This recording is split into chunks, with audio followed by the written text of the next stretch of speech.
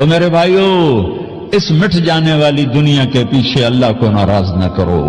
इसकी इज़्ज़त भी धोखा है इसकी शोहरत भी धोखा है इसकी दौलत भी धोखा है इसकी हुकूमत भी धोखा है इसका अरूज भी धोखा है इसका सवाल भी धोखा है इसकी इज़्ज़त भी धोखा है इसकी जिल्लत भी धोखा है इसका माल भी धोखा है और इसका इसका फखर गुर्बत भी धोखा है